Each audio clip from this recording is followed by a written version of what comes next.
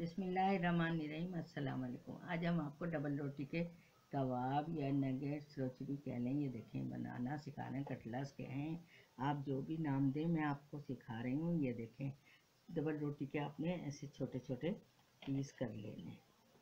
ये, मैंने छः पीस ले लिए और मैं इनको बिल्कुल छोटा छोटा इस तरह कर लूँगी। और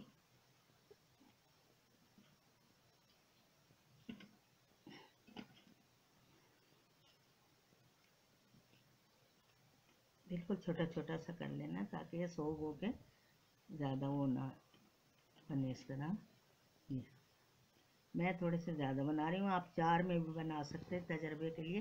चार से कम में क्या बनेंगे बस और इतने बना ले मैं ज़रा से ज़्यादा दो चार कर रही हूँ कि भाई खिलाने में मज़ा आता है अपनी चीज़ बनाई। और इसको बिल्कुल थोड़ा सा इस तरह से पानी लेके आपने सोख करना है। ज़्यादा नहीं, नरम होने पर।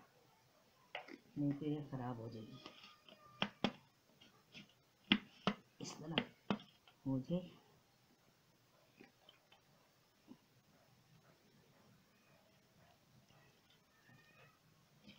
इस तरह करके आपने इसे रख देना और फिर एक आपने बर्तन लेना है और इसमें आपने ये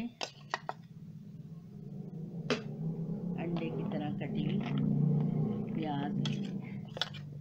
ये ले ये मैंने दो प्याज काटी हैं ज़्यादा के लिए, चार तो उसमें आपने एक लेनी है ये ये ये, इसमें से आधी में हरी मिर्चें लूँगी जो मैंने बारीक काट दिए और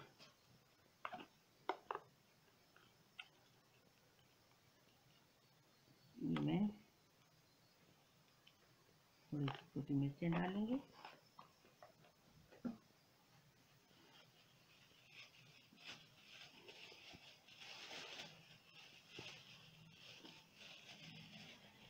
जीरा, मिर्चें, नमक।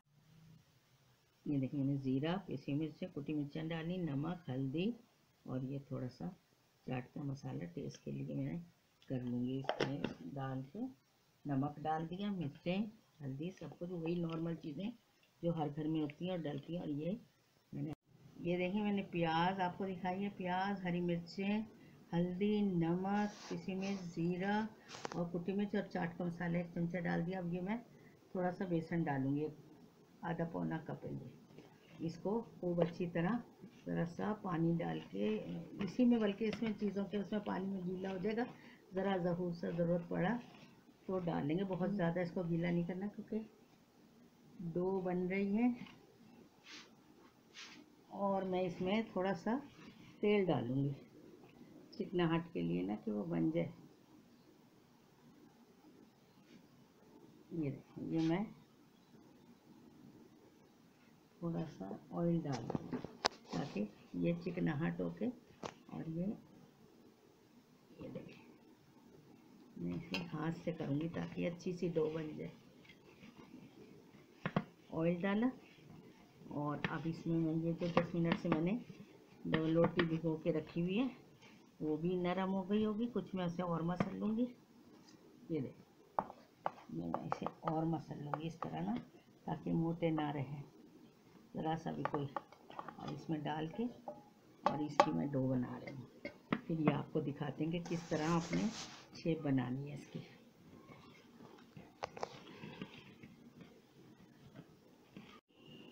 ये मैंने ये हाथों पे तेल लगाया और यूँ थोड़ा सा लिया।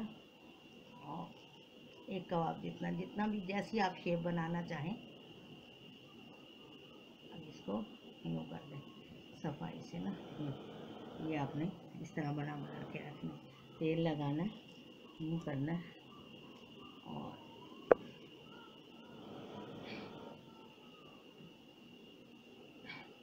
इस तरह बनाना है। इधर मैंने ऑयल ये गर्म होने रख दिया और ये बन जाएँगे।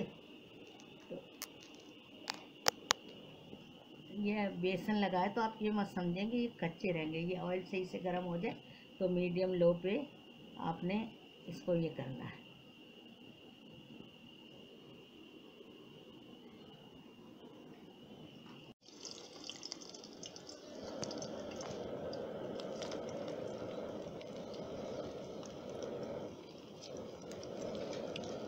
देखें ये डाल दिया हमने ये बन रहे हैं तेल हमें गरम कर लिया था और अब मीडियम आँच कर दी है इसकी और ये कच्चा नहीं रहेगा बेसन अगर आप समझ रहे हैं कि बेसन डला है इसमें ये अंदर से कच्चे रहेंगे तो आप इसको अच्छी तरीके से यूँ कर लें बस आज को बहुत तेज़ ना करें जल जाएँगे और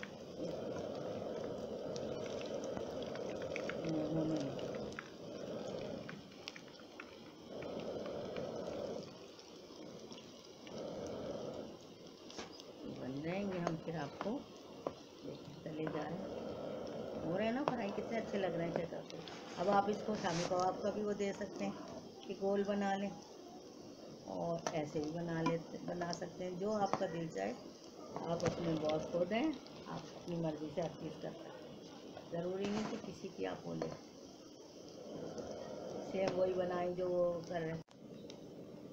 ये देखेंगे तैयार हो गए ये देखें, अभी मैं आपको एक और डाल के दिखाती हूँ कि मैंने एक जो है ना शामी कबाब बना लिया ये।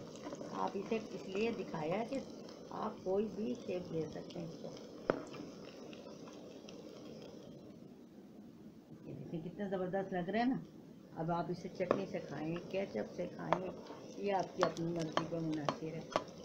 कि आप क्या करते हैं, क्या नहीं करते हरी मिर्च रोटी के कबाब, स्नैक, जो आप कहना चाहें कटलास ये तैयार हो गए जो आप इसे नाम देना चाहें। वो ये मैंने एक शामी कबाब की तरह इसकी शेप दे ली और ये देखें, ये लगा के मुझे खा के बहुत बहुत मज़ेदार बना मज़ा आ जाएगा, आप बनाएँगे तो और कोई ऐसा खर्चा नहीं, सब चीज़ें आपके घर में होंगी, अगर डबल रोटी आपके घर आती है, वो भी होगी।